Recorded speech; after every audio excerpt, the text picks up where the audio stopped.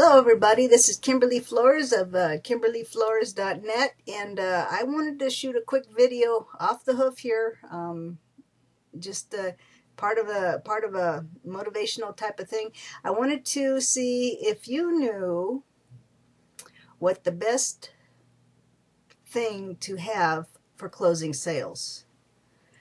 Okay, uh, some of you are, are out there doing network marketing, doing a lot of network marketing. They're, you're, you're trying to get as many leads as you can. Um, um, the more leads you get, the more you think that you're going to have uh, um, signups in your business.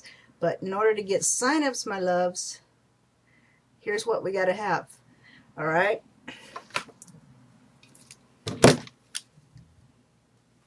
Here's what we got. Okay.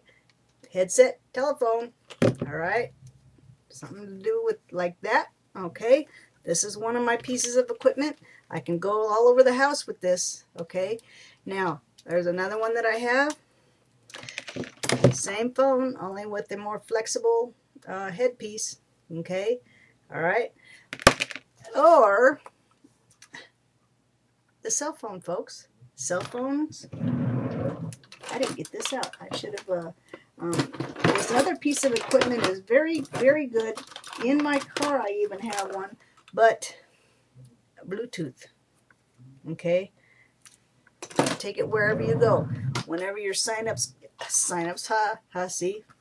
Positive thinking, they're not signups yet, but whenever your prospects call, you'll be on you'll be on the phone there you'll be able to catch them right away i get so many calling they haven't called i've called them okay I called them and I think, well, nobody has ever called me.